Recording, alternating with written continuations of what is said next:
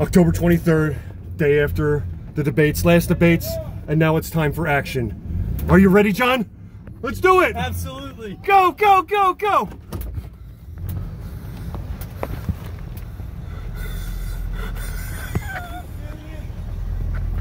And that's how we do it. Republicans, Trump 2020.